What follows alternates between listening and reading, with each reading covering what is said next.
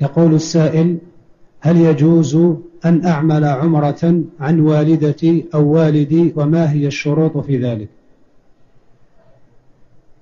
إذا كنت اعتمرت عن نفسك عمرة الإسلام جاز لك أن تعتمر عن غيرك عن والديك أو عن غيرهما.